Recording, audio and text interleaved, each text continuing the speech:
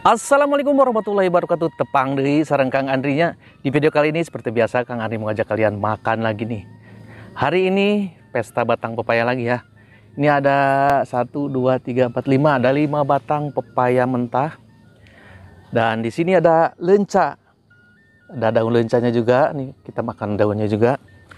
Dan di sini ada terong hijau Sambalnya sambal terasi Dan ikan tongkol bagi kalian yang pengen makan bareng, ambil makanannya kita makan bareng. Sebelum makan kita berdoa terlebih dahulu.